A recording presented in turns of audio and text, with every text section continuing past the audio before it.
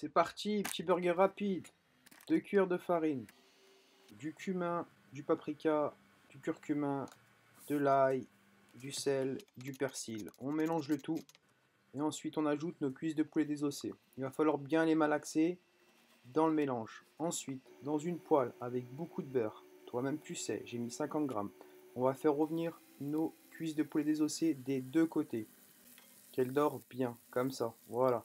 Ensuite, on les balance au four avec du fromage sur le dessus. En attendant, le pain bien moelleux, on va l'ouvrir en deux. On peut le toaster si on veut. J'ai mis de la sauce dessus, yaourt menthe et sauce piquante, de la salade, du salami, notre poulet, attention c'est chaud, wow, voilà, un peu de tomate pour la prostate, toi-même tu sais, des oignons frits, on recouvre le tout, et voilà. À vous de jouer